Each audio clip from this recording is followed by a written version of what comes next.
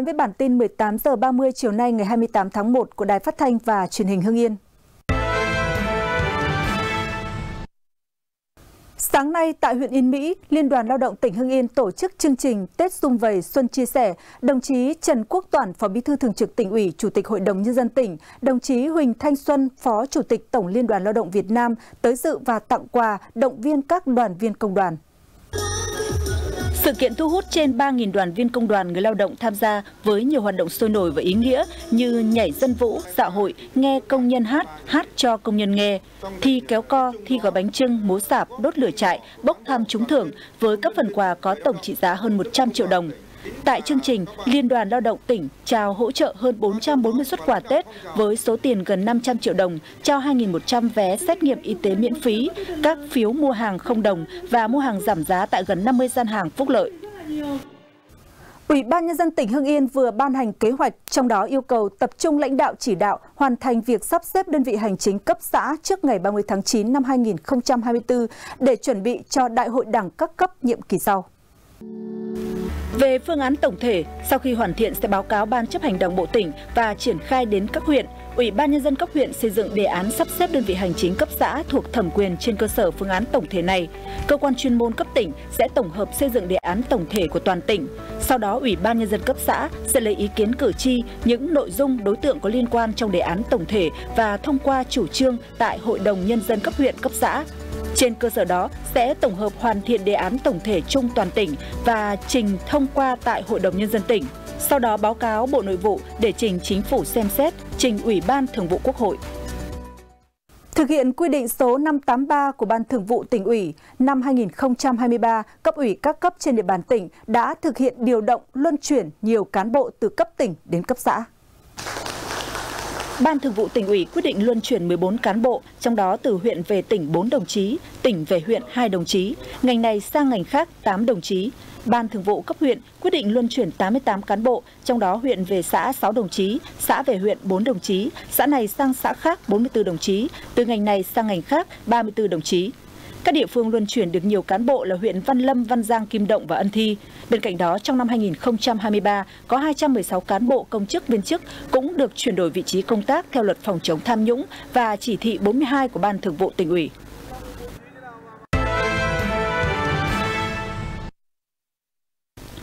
Báo cáo thị trường bất động sản Việt Nam năm 2023 cho thấy, khu vực miền Bắc chứng kiến giá thuê bất động sản công nghiệp tăng mạnh nhất, trung bình đạt 135 đô la Mỹ trên một mét vuông trên một chu kỳ thuê, tăng 33% so với năm 2022. Còn miền Nam, giá thuê trung bình 188 đô la Mỹ trên một mét vuông trên một chu kỳ thuê, tăng 15% so với năm 2022.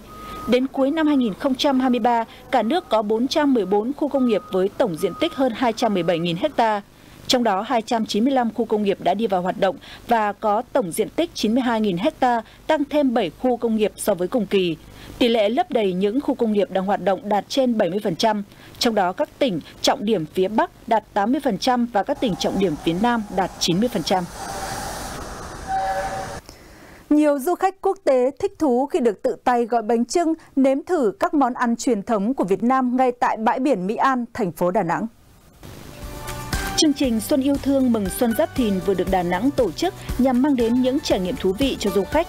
Tại đây, du khách lần đầu tiên được trải nghiệm những hoạt động truyền thống của ngày Tết Việt Nam như gói bánh trưng, bánh tét, nấu bánh và làm các loại bánh, mứt gừng, mứt dừa, thưởng thức không gian ẩm thực truyền thống. Nhiều du khách nước ngoài thích thú khi tự tay mình gói bánh trưng, trải nghiệm nghệ thuật thư pháp cùng ông đồ, tên trầu, cánh phượng, tham gia các trò chơi dân gian như nhảy sạp, đập niêu, hô hát bài tròi. Sáng qua, xã Quang Hưng, huyện Phù Cử đã tổ chức lễ tiếp nhận thần tích thần sắc di tích cấp tỉnh Đình Phú Mỹ. Đình Phú Mỹ tôn thờ hai vị thành hoàng làng là Trường Tự Đại Vương và U Nhận Đại Vương có công âm phù thời Hùng Duệ Vương. Đình đã được nhận một bản thần tích và ba đạo thần sắc dưới thời vua tự Đức. Trong kháng chiến chống Pháp, Đình là nơi hoạt động bí mật của du kích. Đình Phú Mỹ được xếp hạng di tích lịch sử cấp tỉnh năm 2017. Trải qua thăng trầm của thời gian, Đình Phú Mỹ bị chiến tranh tàn phá, các bản thần tích thần sắc bị thất lạc. Viện Nghiên cứu Hán Nôm đã khôi phục và bàn giao các đạo thần tích thần sắc của Đình Làng Phú Mỹ cho cán bộ và nhân dân Quang Hưng. Đang lưu thông trên cao tốc Nghi Sơn Diễn Châu vào tối qua, một xe khách bất ngờ bốc cháy dữ dội. Thông tin ban đầu, khoảng 19 giờ ngày 27 tháng 1, xe khách do một tài xế sinh năm 1988 ở tỉnh Hà Tĩnh điều khiển lưu thông trên tuyến cao tốc Nghi Sơn Diễn Châu theo hướng Hà Nội Nghệ An. Khi đến địa phận xã Phú Sơn, thị xã Nghi Sơn, tỉnh Thanh Hóa thì bất ngờ chiếc xe bốc cháy. Do thời điểm xảy ra buổi tối, thời tiết gió nhiều nên ngọn lửa nhanh chóng bao trùm toàn bộ chiếc xe. Sáng nay, Công an thị xã Nghi Sơn cho biết vụ cháy không gây thiệt hại về người nhưng gây ùn tắc giao thông cục bộ trên đoạn tuyến Nghi Sơn Diễn Châu. Vào hồi 11 giờ ngày 23 tháng 1, tổ công tác công an huyện Văn Giang phối hợp cùng công an xã Long Hưng phát hiện trước cổng và trong sân nhà của Nguyễn Văn Khởi, sinh năm 1970, ở thôn Như Phượng Hạ, xã Long Hưng, có nhiều xác pháo bằng giấy báo. Qua quá trình làm việc, Khởi khai nhận là người đốt quả pháo nổ tự chế ở cổng nhà vào sáng 23 tháng 1. Khám xét khẩn cấp chỗ ở của Khởi, công an thu giữ 7,8 kg pháo nổ, 1,2 kg thuốc pháo nổ cùng dây ngoài pháo và một số vật chứng khác liên quan đến việc sản xuất pháo. Công an huyện Văn Giang đang hoàn tất hồ sơ để xử lý đối tượng theo quy định.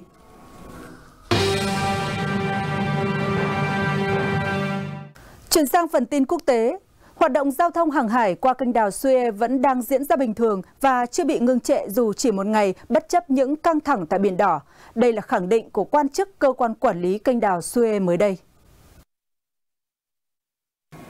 Phát biểu tại cuộc họp trực tuyến với Tổng thư ký Tổ chức Hàng hải Quốc tế, Chủ tịch cơ quan quản lý kênh đào Suez của Ai Cập, ông Osama Rabi cho biết, bất chấp cuộc khủng hoảng tại Biển Đỏ, cơ quan quản lý kênh đào Suez vẫn cung cấp các dịch vụ hàng hải và hỗ trợ khách hàng để giảm tác động của tình hình hiện nay.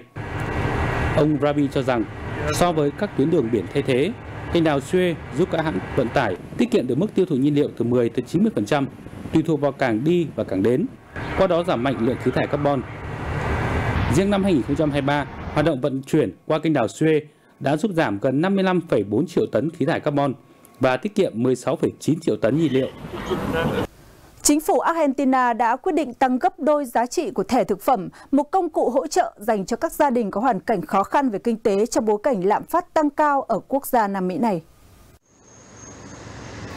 Cụ thể, từ tháng 2 tới đây, các gia đình nghèo có một con sẽ nhận được 44.000 peso, tương đương 52 đô la Mỹ, 69.000 peso, tương đương 82 đô la Mỹ cho những gia đình có hai con và 91.000 peso, tương đương 108 đô la Mỹ cho những hộ có 3 con trở lên.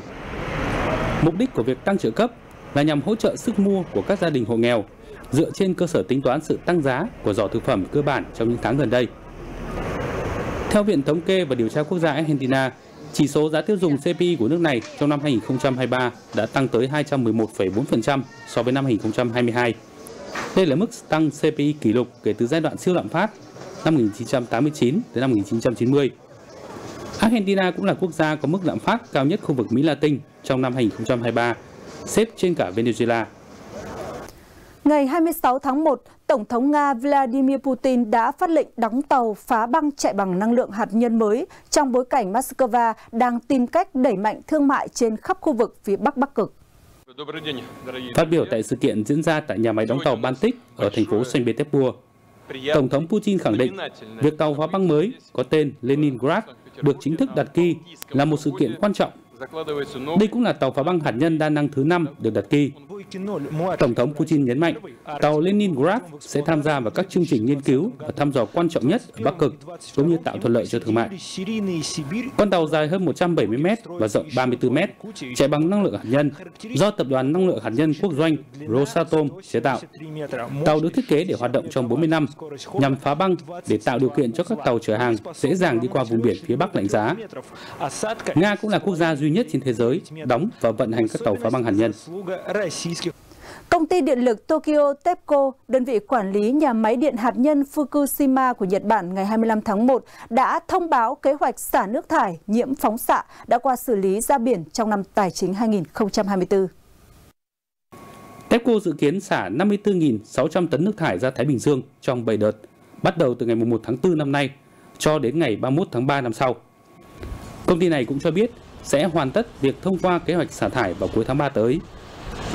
TEPCO và chính phủ Nhật Bản đánh giá hoạt động xả thải đóng vai trò quan trọng trong quá trình loại bỏ nhà máy điện hạt nhân Fukushima, vốn bị hư hại nặng nề sau thảm họa động đất và sóng thần năm 2011. Chính phủ Nhật Bản đã bắt đầu xả nước thải đã qua xử lý từ nhà máy Fukushima từ cuối tháng 8 năm ngoái. Trước khi xả, nước thải sẽ được pha loãng với nước biển để giảm nồng độ GT xuống còn mức 1 trên 40 mức cho phép theo tiêu chuẩn an toàn của Nhật Bản. Quý vị và các bạn thân mến, những thông tin vừa rồi đã kết thúc bản tin 18 giờ 30 của Đài Phát thanh và Truyền hình Hưng Yên. Cảm ơn quý vị và các bạn đã quan tâm theo dõi.